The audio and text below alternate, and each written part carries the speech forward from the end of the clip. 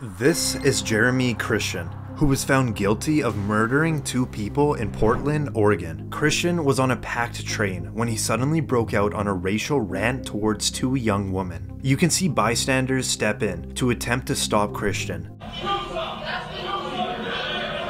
Unfortunately, the situation escalated and Christian stabbed and killed two men and seriously wounding a third. You can see Christian fleeing the crime scene. Passengers of the train followed him and he was arrested about a mile away. During the arrest, you can see Christian in the back of the patrol car. I'm happy as a mother. Hopefully this mother dies. Christian was later found guilty of two counts of murder and attempted murder. Now, at the sentencing, one of the victims delivers a victim impact statement, and this is where Christian has an outburst. To Mr. Jeremy Christian, your mom should have swallowed you. You are a waste of breath. And when you die and go to hell, I hope you rot. See you there. You ain't gonna be married either. You ain't gonna be married either. My whole city. George Floyd. George Floyd. I should have. I should have. Everybody knows you're a liar. Everybody knows you're a liar. After Christian is escorted out of the courtroom, the judge sentenced him to two consecutive life terms, plus more than 25 years for his other convictions. This is Daniel Villegas. He spent 18 years in prison for a double homicide he never committed. In El Paso, Texas, Villegas was arrested at 16, where an El Paso detective reportedly threatened him with beatings and the death penalty if he did not confess. And the teenage Villegas signed a confession that was prepared by the detectives. He tried to withdraw his confession a few hours after, but by then it was too late. He was charged with two counts of capital murder. With the false confession being the only piece of evidence, the jury was unable to agree on a verdict. Villegas had a retrial and the jury returned a guilty verdict and he was given a life sentence. After spending 18 years in prison, the verdict was thrown out and Villegas remained out on bond where he got married and started a family. But now we're in the third trial. If the defendant will please stand. This is the moment that Villegas will find out if he'll go home with his family or be sent back to prison to serve his life sentence. The state of Texas versus Daniel Villegas. Verdict form B. We, the jury, find the defendant Daniel Villegas not guilty of.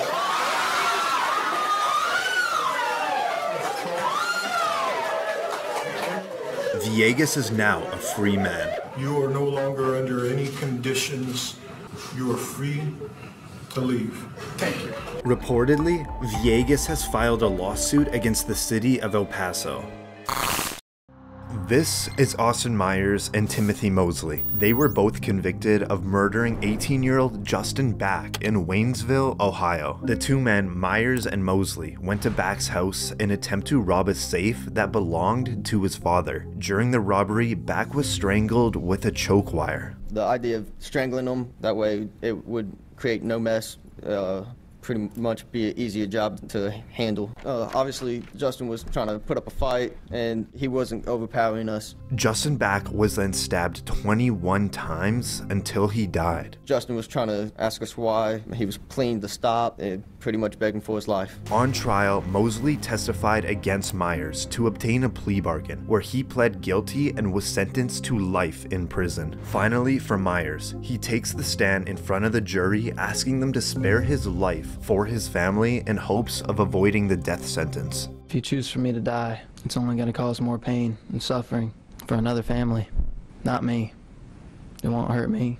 I won't feel anything. It's going to hurt more innocent people. This is now the father of Justin Back speaking. I'm not going to stand up here and tell you how much I hate you. That is without question. I would just hope that every time you close your eyes at night, you see my son Justin. After the jury recommended the death sentence, this is Myers' last chance to plead for his life in front of the judge. I think there's a lot of good things I can do with my life if you allow me to keep my life. And the judge doesn't buy it. He hands down the maximum sentence. The defendant does not understand how precious life is. Therefore, the sentence of death shall be imposed upon Austin Gregory Myers on the charge of aggravated murder. Nothing but a slight nod. At just 19 years old, this made Myers the youngest Ohio individual to be put on death row. He is currently awaiting his execution at Chillicothe Correctional Institution. There were so many lives destroyed by this, and it was just for nothing. I mean, there was no money in the safe. There was nothing in there. They did this for basically nothing.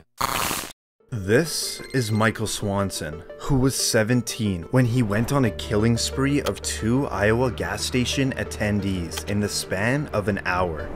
Where did you shoot? On the body? Yeah. And in the face? In the face? Okay. Why, why the face? I thought I was just gonna shoot to injure her. Why would I shoot her at all?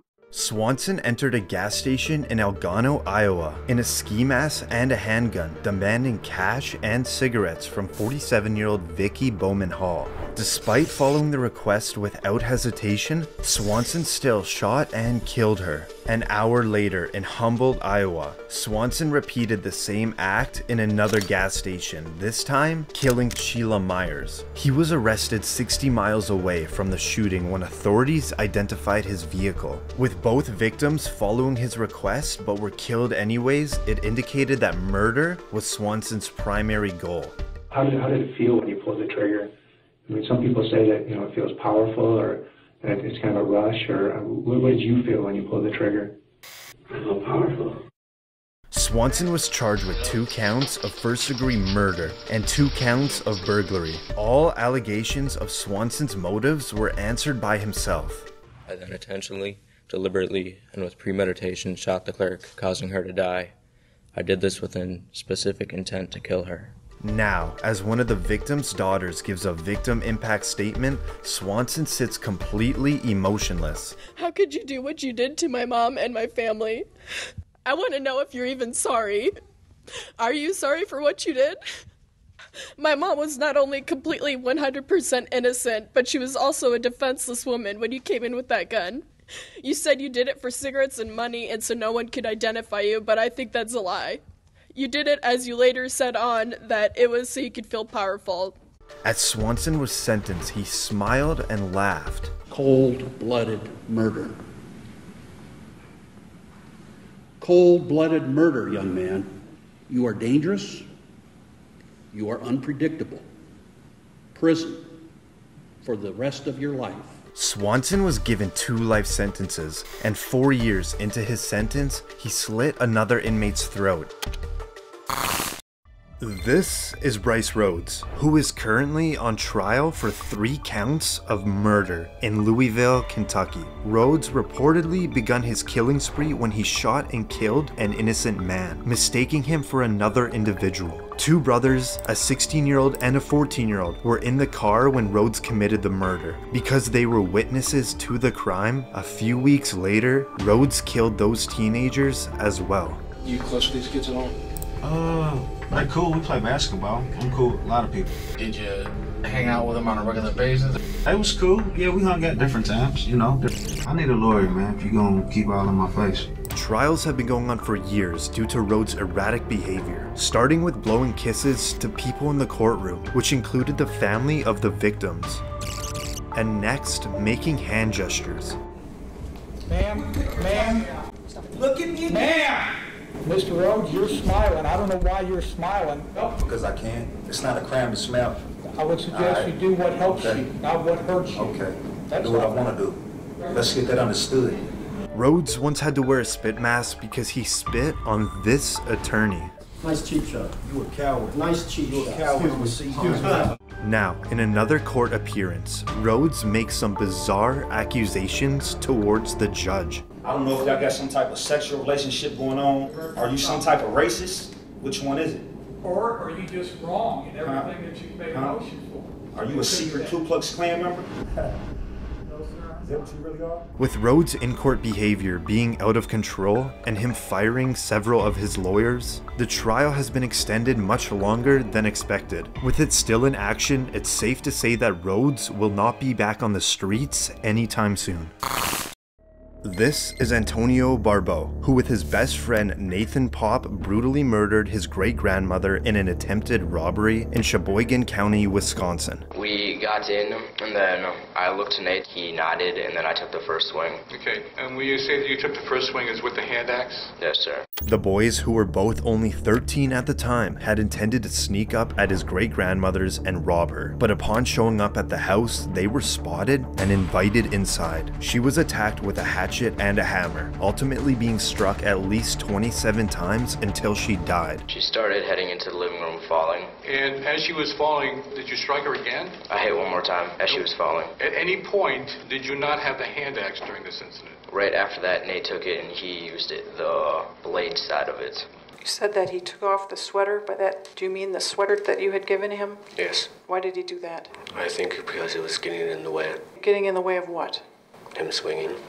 They then stole $155 in cash and some jewelry before stealing the car and ditching it at a local bowling alley, hoping to frame someone else for the crime. A few days later, both boys were arrested. Now in court, Barbeau takes the stand to testify. We were gonna try to scare her to get money and then use force if needed. And when you say use force if needed, was there a discussion about what type of force you might use? Um, an attack, uh, I guess to kill. Barbeau pleaded no contest to first degree intentional homicide as part of a plea deal, where he was sentenced to life in prison with eligibility for parole in 36 years, where he would then be 50 years old. In his final statement, his lawyer had to finish his thoughts. I know I don't show my emotions much. I myself am not sure why, but that doesn't mean I don't.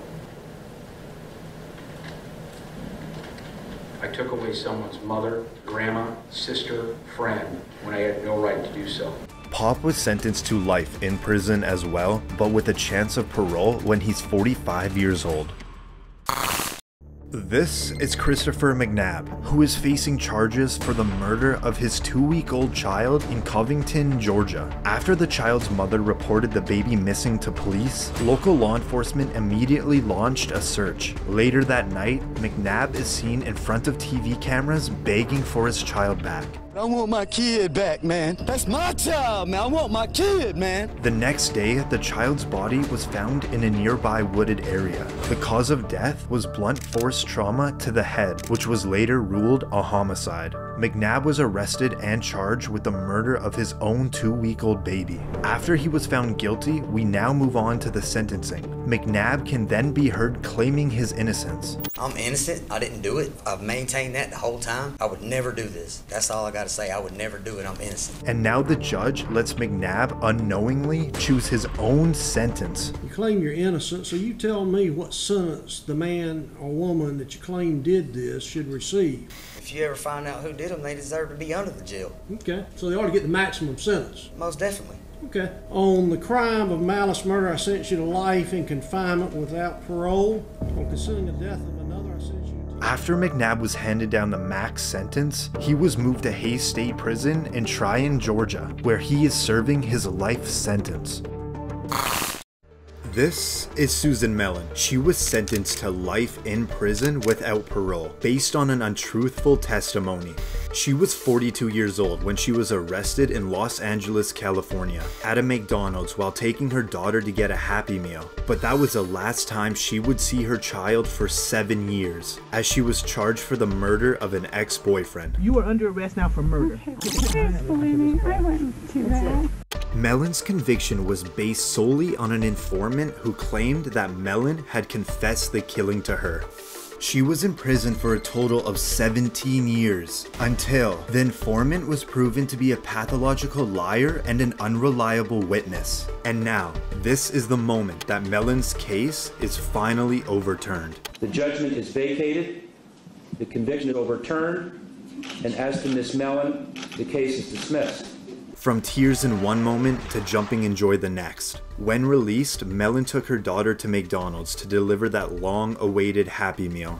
The state of California awarded Mellen $597,000 in compensation, and reportedly, the Los Angeles City Council agreed to pay $12 million to Susan Mellen.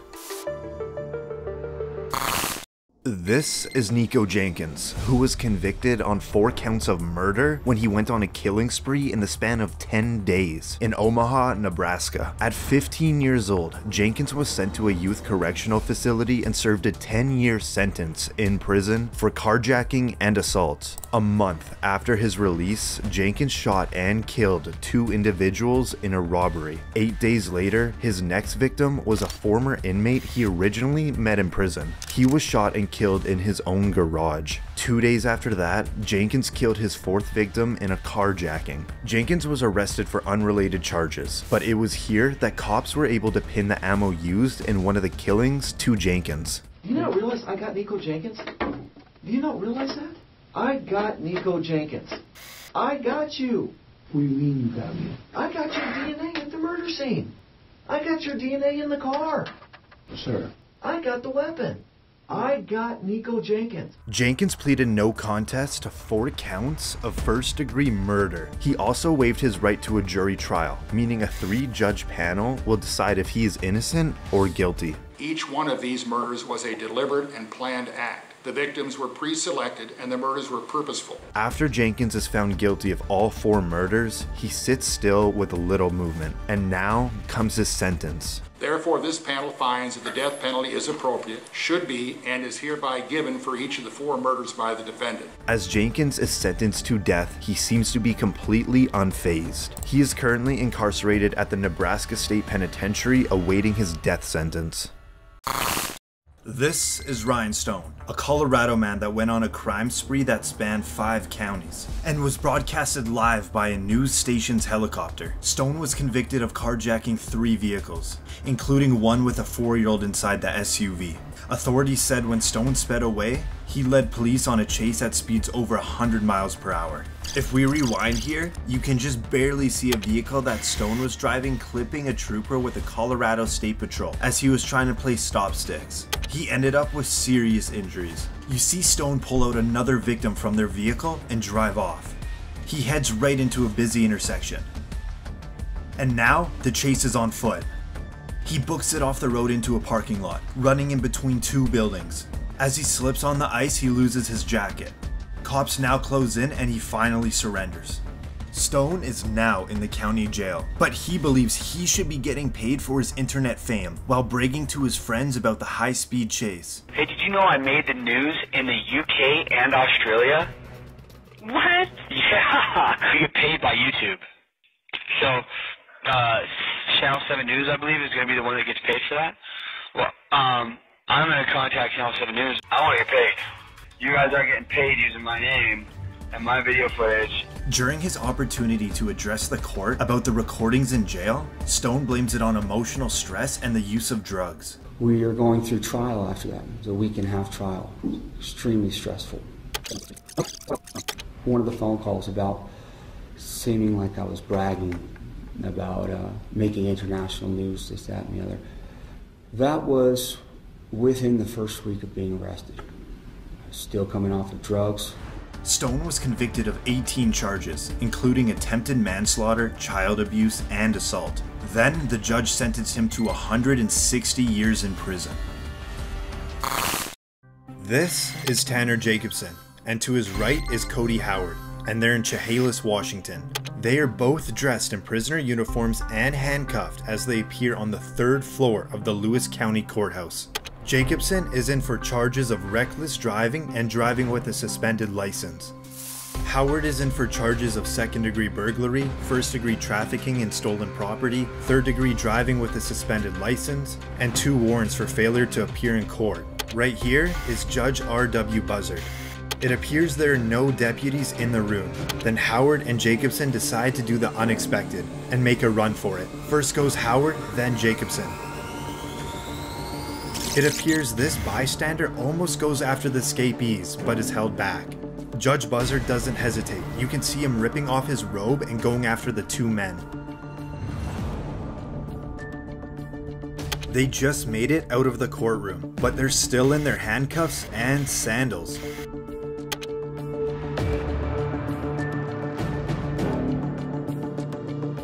Now, in the third floor stairwell,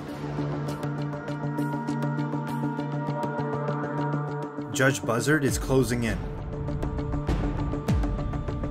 With only one more floor to go, it's going to be a close one.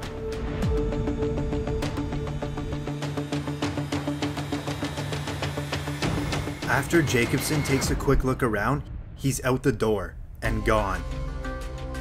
But for Howard, not that easy. Judge Buzzard caught up and captured him. Jacobson was later picked up a couple blocks away. I only get like four blocks and then I stop. Like I just stopped on my own. I'm like, what am I doing right now? I said, what am I doing?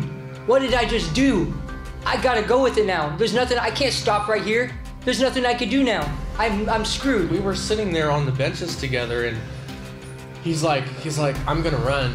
It was just a split second like decision. I don't even know why I did it. Like I would be out of here if I wouldn't have ran. They were both charged with second degree escape. Reportedly, Jacobson was sentenced to one year and one day, and Howard was sentenced to just over three years behind bars.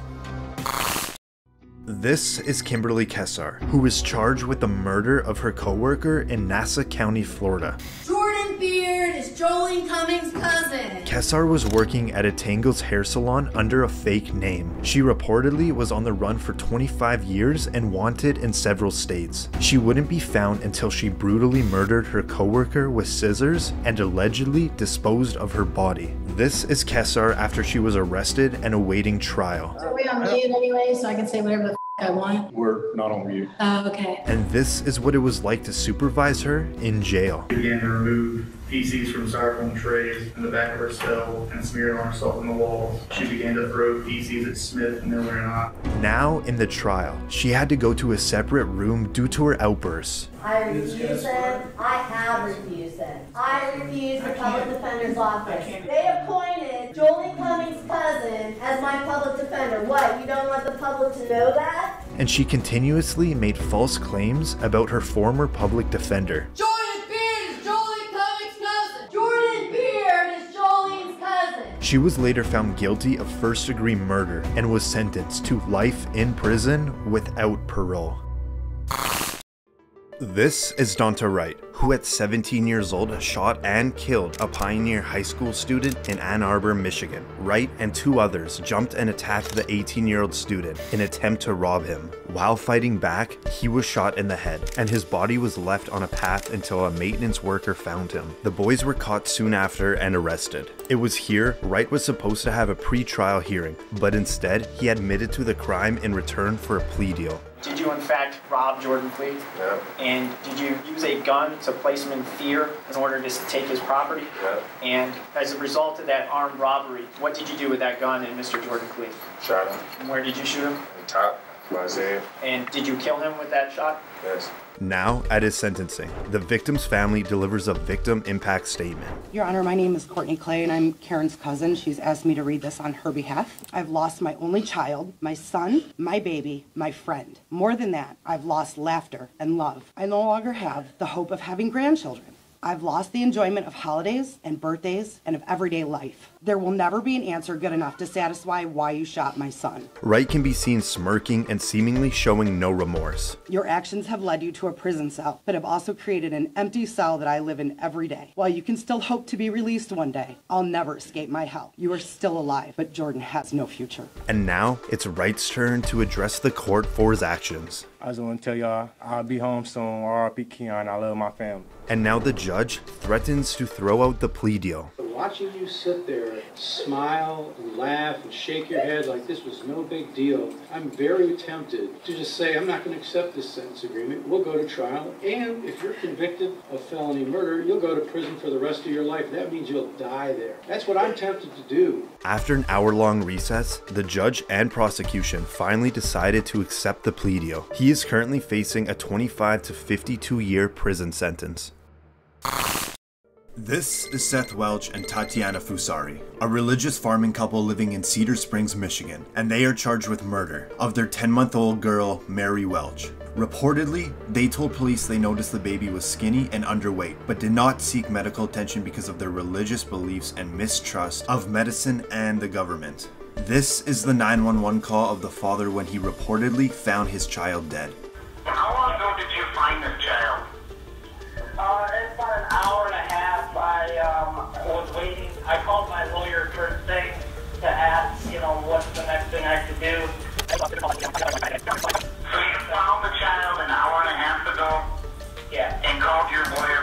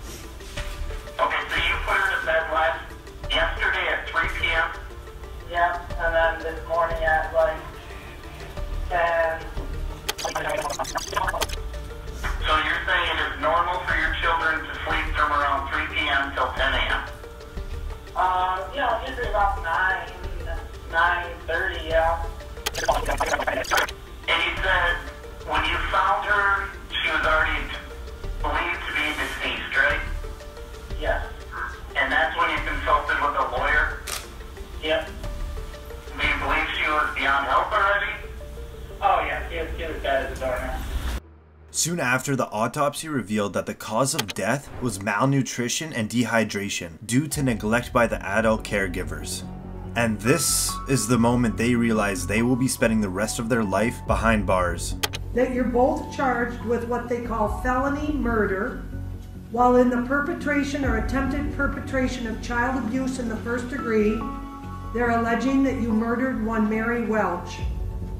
That is a charge called homicide felony murder. It is life without parole. It requires a DNA sample to be taken upon arrest, which is often like a cotton swab or in the inside of your cheek. The second offense that you're both charged with is called child abuse in the first degree, where they're alleging you knowingly or intentionally caused serious physical harm to a child. They're talking about this Mary Welch. It is a felony, possible penalty of up to life imprisonment or any term of years less than life.